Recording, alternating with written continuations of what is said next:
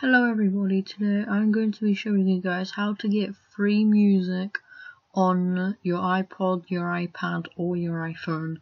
Um, this is for free, completely free, free website, legal, online and everything. It's, it's just free and awesome. What you guys want to do is open your Chrome, Google Chrome or Internet Explorer or whatever you want. I'm on Internet Explorer because for some reason it won't let me download my thing. So anyway, what you guys wanna type in is MP3 converter, MP3, oops, converter. There you go, down there. MP3 converter. I'm gonna click the first one that comes up, YouTube to MP3 converter. In seconds, it come up with online video converter, right here. And then this is the point where you want to go to YouTube I'm gonna open it up and find your music, whatever.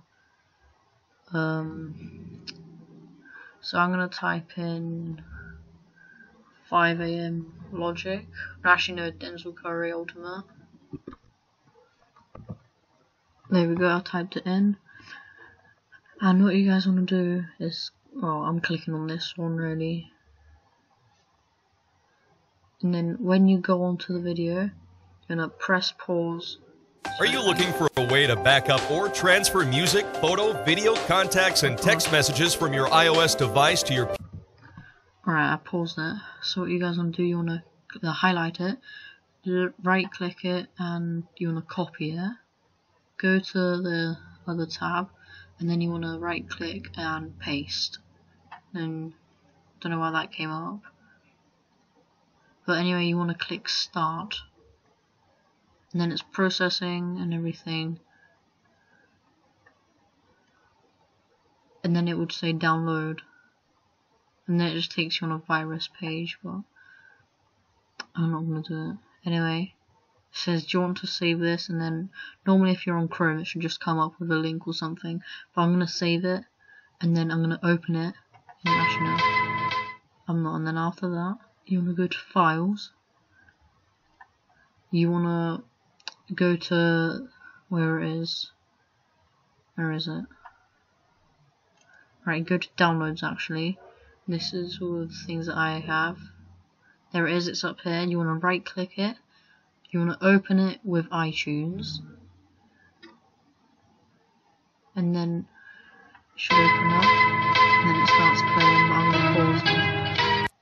There we go. And then what you guys want to do is this is where you want to plug your iPod, iPad, or iPhone. Plug it into your computer.